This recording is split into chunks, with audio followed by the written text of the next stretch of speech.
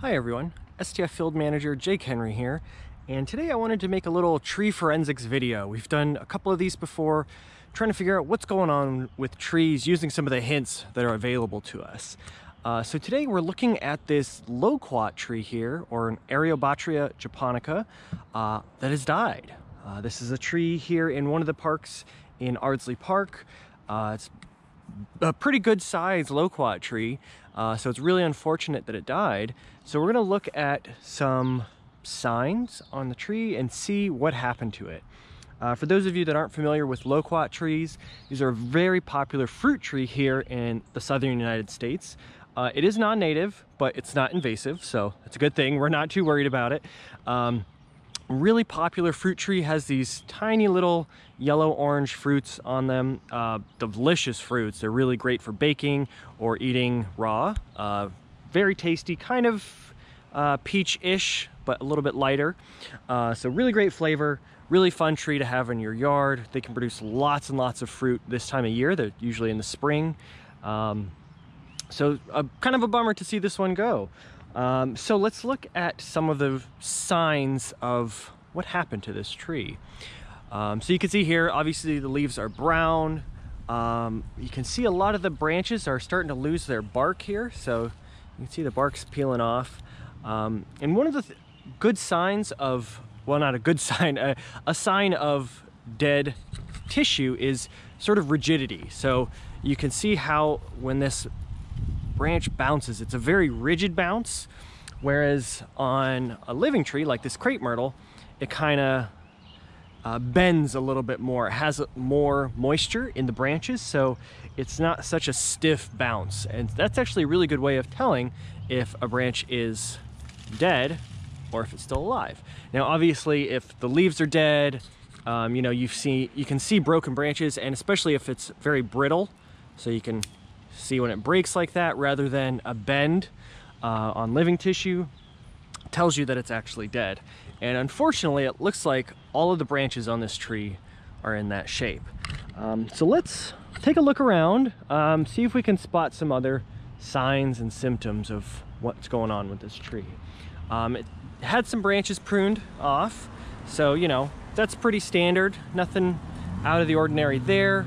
Um, those can be an entry point for disease and decay. Um, none of these seem to be too, too bad. There's a little bit of decay here, but um, nothing excessive. You can see some of these pruning cuts here. Um, but let's look down a little bit lower at the trunk. So we have some issues here. This is probably the most obvious sign uh, that's there's something wrong with the tree.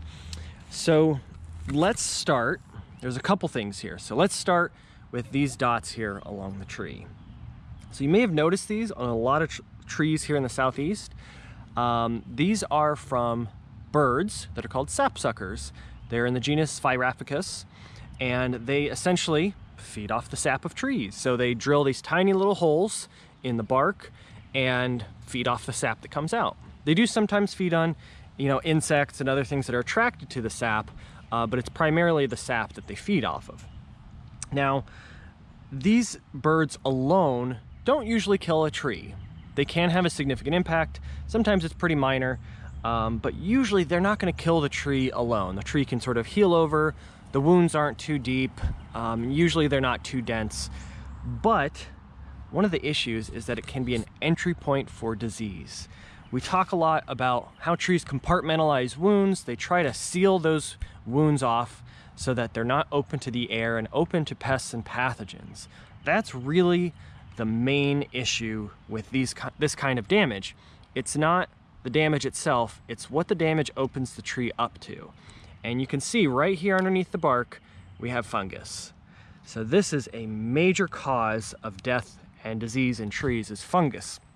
So essentially what happened here, what it looks like happened, uh, is that these sapsuckers opened up the tree, they created wounds, and the fungus got inside. And particularly trees in urban environments, they're dealing with a lot of stress, a lot of heat, a lot of pollution, a lot of soil compaction, things that trees in natural areas don't have to deal with. And so all of those stressors combined can kill a tree. And those stressors in particular make it easy for a fungus like this to just run rampant. And so we can see if we look down further, you know, here there's no bark left. It's completely gone here.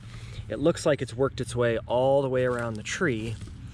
And if you recall from some of our other videos, all of the important parts of a tree are just beneath the bark. That's the cambium, the phloem, the xylem, the things that move the water and nutrients are right beneath the bark. So on the interior, it's mostly just wood that's a structural function.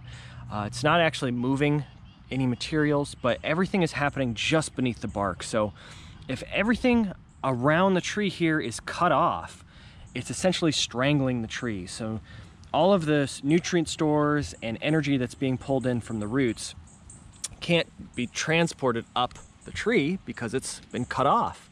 And the reverse happens as well. All the nutrients, all that sunlight the leaves are collecting can't be transported down to the roots for storage either.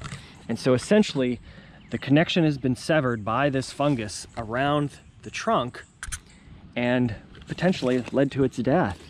Um, so it's hard to know. There, there may be other factors that have affected it. Um, it could have been undergoing other stress, uh, maybe other damage that happened that you know wasn't apparent beforehand. So, so this big section here could have been mower damage. Uh, that's something that's very common in urban areas. And again, a lot of that damage is not necessarily going to kill the tree alone. It's this combination of stressors and factors that can kill the tree. So if it had mechanical damage, if it had damage from the sapsuckers at the top, and then the fungus came in as well.